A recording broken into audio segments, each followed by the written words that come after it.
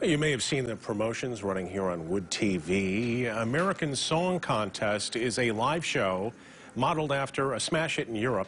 It pits artists from each state and territory in the U.S. against each other. I got a chance to talk with Michigan's contestant, a teenager from Battle Creek. I'm so nervous, um, but I'm also really, really excited. I'm really excited. This is a huge opportunity for me. It's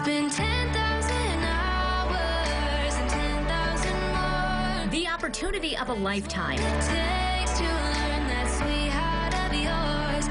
Ada LeAnn is only 16 years old. I get so lost inside your eyes. This Battle Creek Lakeview High School student is Michigan's shot to win American Song Contest.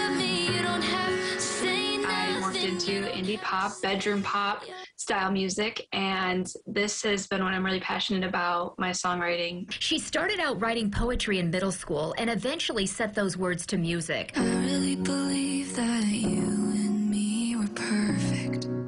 Her dad helps her get gigs. She was discovered by NBC producers through an online database of musicians. She got the call and she's accepted the invitation to represent the Great Lakes State. and the biggest televised music event you've ever seen. I want you guys to know that this is nerve wracking for me, but I'm so willing to do it, and I love you guys so much. She's the only minor competing on the show, and you might be wondering how a 16 year old can write songs with titles like Cheap Wine and Adore You.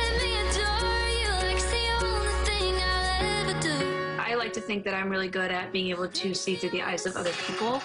Um, and a lot of the time I will write about other people's experiences, which has been really exciting for me. The show will be live, premiering on March 21st. She urges people to follow her on social media. She'll be releasing some teasers of the songs she'll use on the show on TikTok soon. Vote Michigan, vote for me. I promise I'm going to do my best to represent you guys. I might never get there,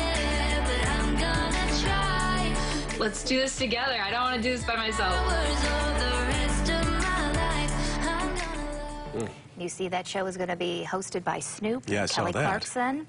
Yeah. all She's composed for her age. she's very mature. Yeah, I think she has a great chance. Yeah, well, pulling for her.